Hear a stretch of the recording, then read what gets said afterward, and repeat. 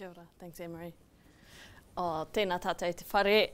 Um, tuatahi ake me mihi katika ki a koutou, ngā taringa. I are are mai ki a hui tēnei wā. I are are mai ki a māua ko Waiaria. Um, he tika me mihi ki a koe te tuakana, nā ui timata. Um, mākou te whakamutunga uh, o tō māua kōrero e pāna ki tēnei kaupapa ngā tohu. Um, Kia ora everybody, if you weren't here for Waiaria's talk, mine isn't going to make sense, so you're welcome. um, but I suppose Waiaria spoke about the, the knowledge and the practices that we sought to reclaim, and so the side that I will talk to you about is how we worked on the preservation of that through different, different ara, different ways. So just gonna go see what I've got on my. I actually haven't seen this presentation for a year and a half, so it's gonna be fun. um, okay, so as you can imagine, if you're in a research kaupapa and um, you're developing knowledge and you're developing um, lots of different kōrero and different case studies and different places, there's going to be lots of different outputs from that rangahau. And so I suppose we had so many different hua or different um, outputs that came from the research itself. And some of them are up here. Oh, is this a.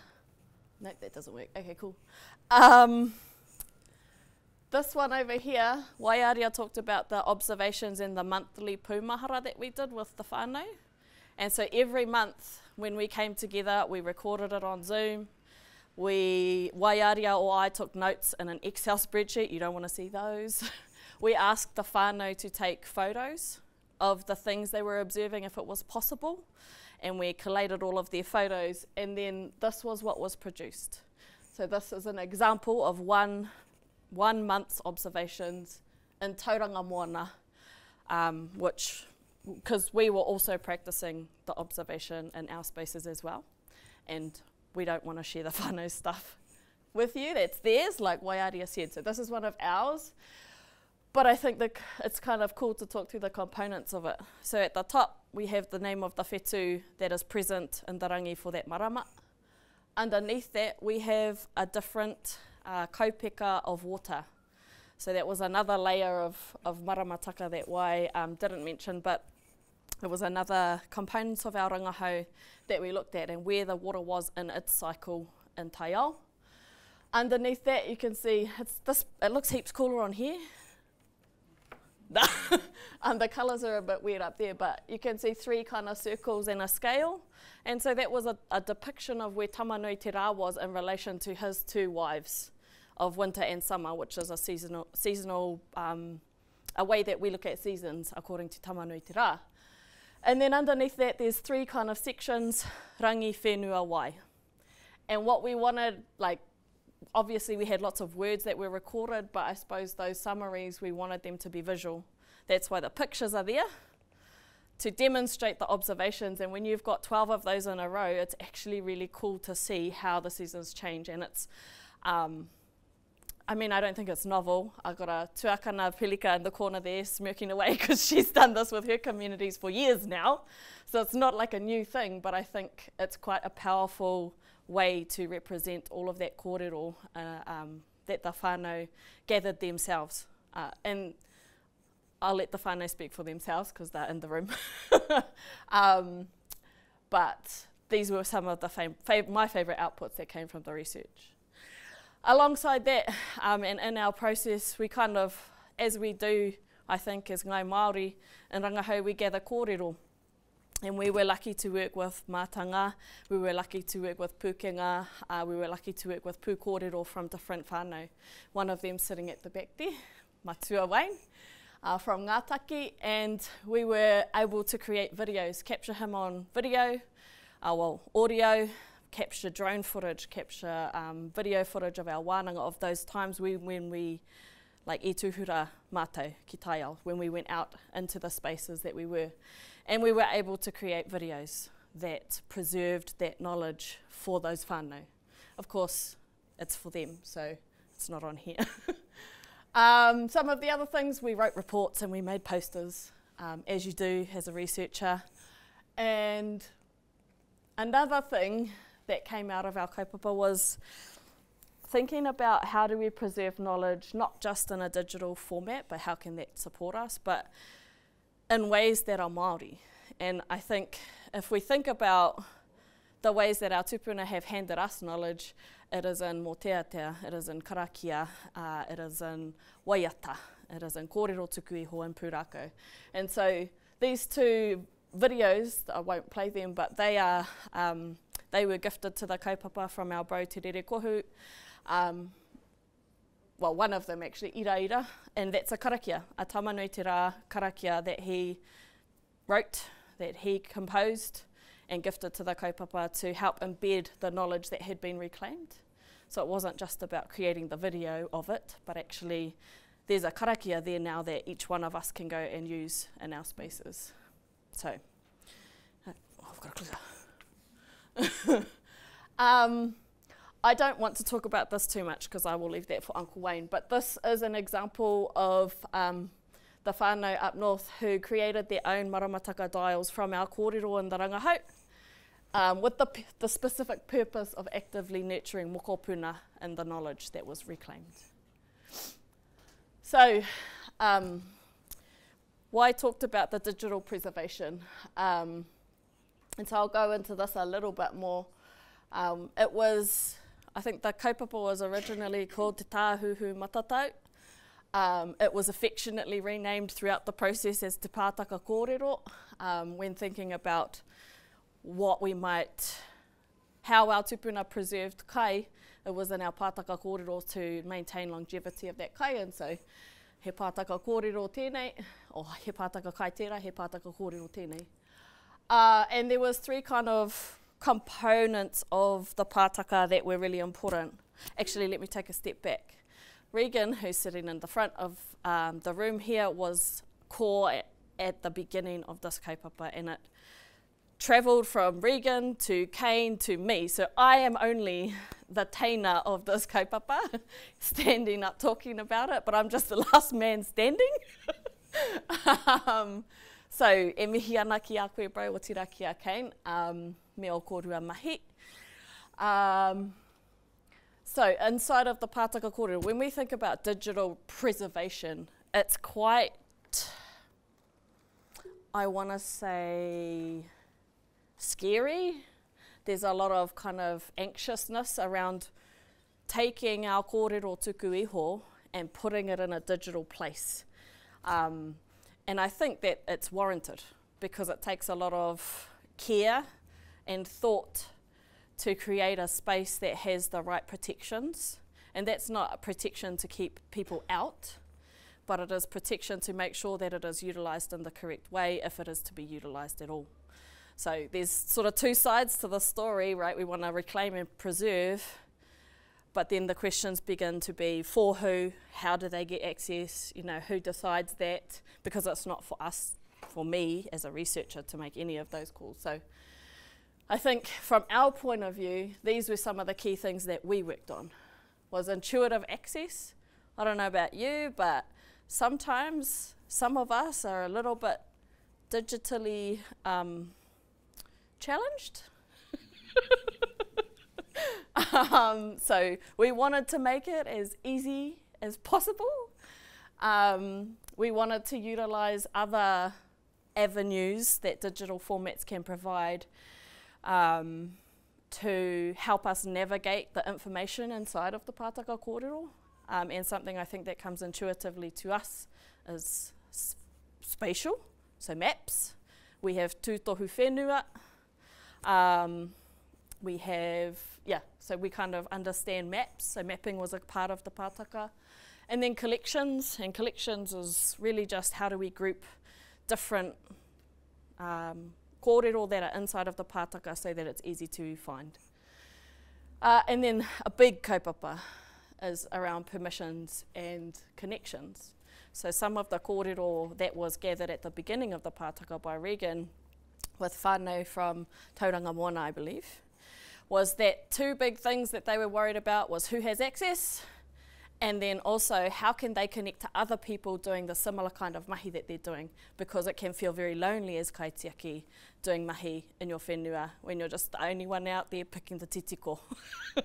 so those were two things. Again, two sides of sort of the same coin there. How do we protect, but also how do we connect with others?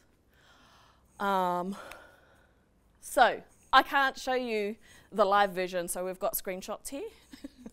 um, but I suppose these are just some of the elements of this is what it looks like aside from that big blue box. Um, inside the Pātaka kōrero and across the top there you can see that there's lots of different ways that you can search inside of the Pātaka.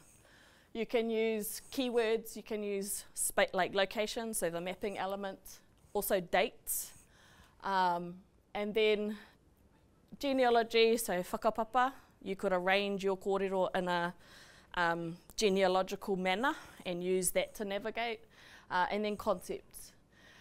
Um, obviously, everything was searchable by words.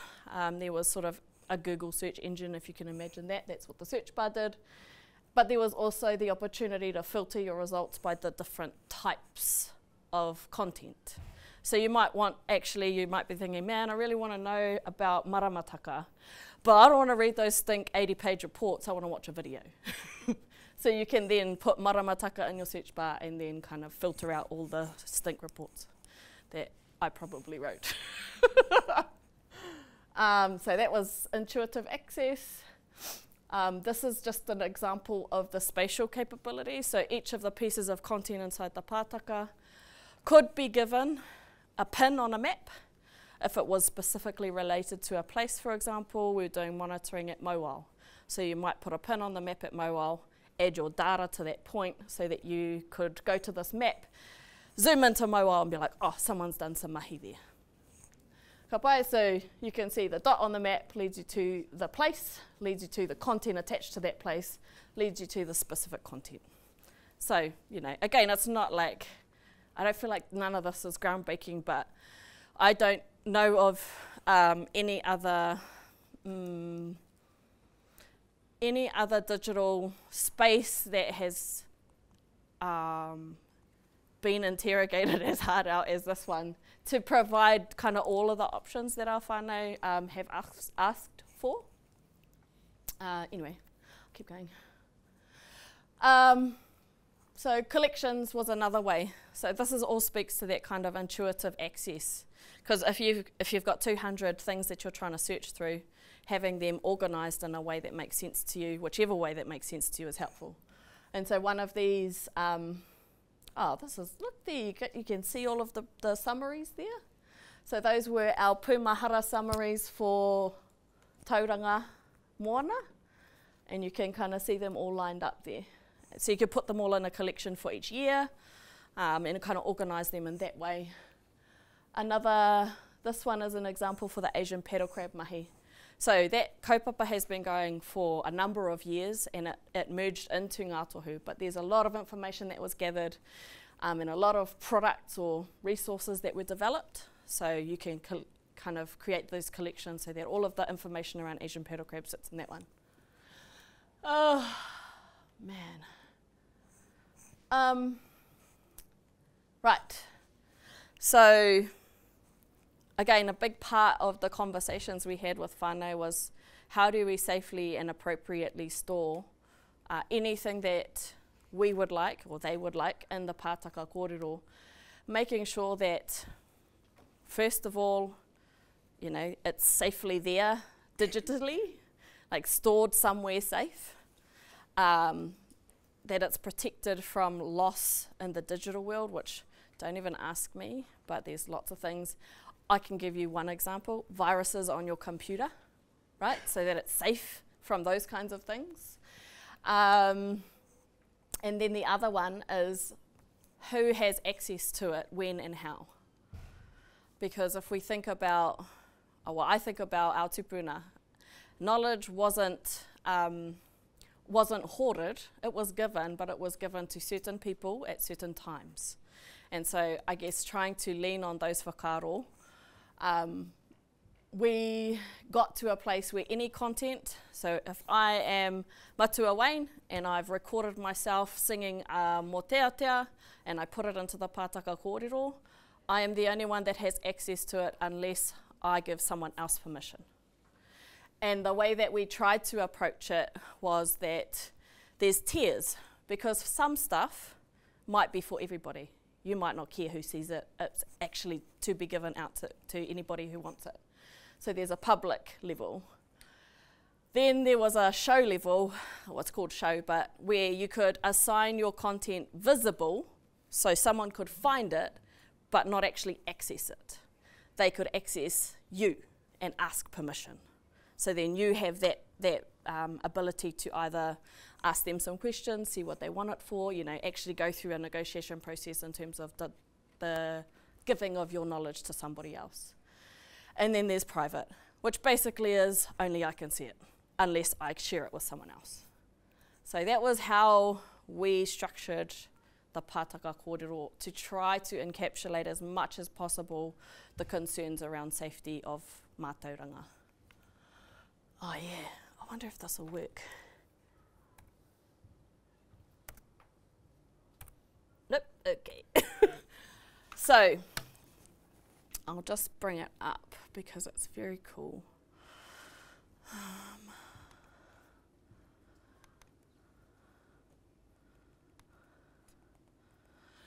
so, um, like I said earlier, one of one of the other ways that we wanted to, um, or we actively engaged in terms of preservation of the kōrero, was um, tito waiata, tito karakia, so composing of songs or um, karakia or um, chants that encapsulated the knowledge. Um, and we were very lucky to have a talented whānau from Tokomaru. Um, Regan's daughter, Te Waiotu, has many, many talents, but one of them was animation. Her uncle, Krauria, composed a short waiata about some of the observations that they had made. And those two talents, plus I'm sure the guidance of um, Te Waiotu's Papa Regan here in the front, generated this short video. So I didn't want to talk over it because it's quite cool. But I don't know, is the sound going to just come from the computer? The screen? Are you sure? right, well, I'm going to turn it up. On the laptop? Yeah. Uh, okay, so it's only 30 seconds, so you've got to be watching from the start.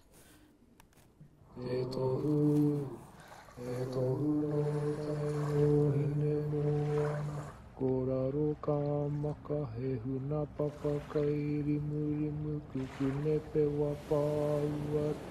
E tohu no tāne he tua kura no rata te oro tui E tohu, e tohu no rangi no hina tama te akai ariki ko hine takurua te herenga o pipiri te tere atu ki tai e. So, I cannot claim that credit. That goes straight over here. But uh, um, I think it was a cool demonstration that, you know, in rangahau, and especially in science rangahau, our goals are usually to publish papers. But actually, how long does that last? Who reads them? and so one of the things that was really important to our ropu um, and to our whānau was to generate generate resources that meant something that were long lasting and that could be utilised by our whānau for their whānau. Um, and so we actually did not create this. I cannot say that we as a Rōpū Rangahau did it, but we asked our whānau if they would like to do something. And this is what they came up with, and we were like, whoa, that's super cool. So um, I think that's uh, as well as preservation in those digital places. I think the point being that you know we can work to preserve kōrero in different spaces um, that are more relevant to us inside of Rangahau. Um, I'm hoping that um, my presentation is shortly finished. So I feel like it's late in the afternoon and I'm really pushing it with you guys. Um, okay. Um, I suppose the other element of preservation, and why I touched on it, was actually preservation in our practice. In order to be able to observe the way that our tupuna did, we need to practice it regularly. and it is something that we um, actively worked at in our kaupapa. And it's something actually that I personally really learned um, in my time in Hawaii. And their kōrero is makahana ka ike. Um, very similar whakaaro to Mati Mahi ka mōhio. It is in the doing that we actually know. So you can think about something all you like. You can wānanga for hours, but if you don't do it, you don't really know it. You haven't heard, felt, tasted, seen, uh, smelt that work. Um, so this was another uh, way that we looked at preservation of our knowledge. And this is just an example of the Asian paddle crab um, and laying up what our whānau had been observing, actively observing in their taiao against our maramataka. Uh, yay! Ngā mihi.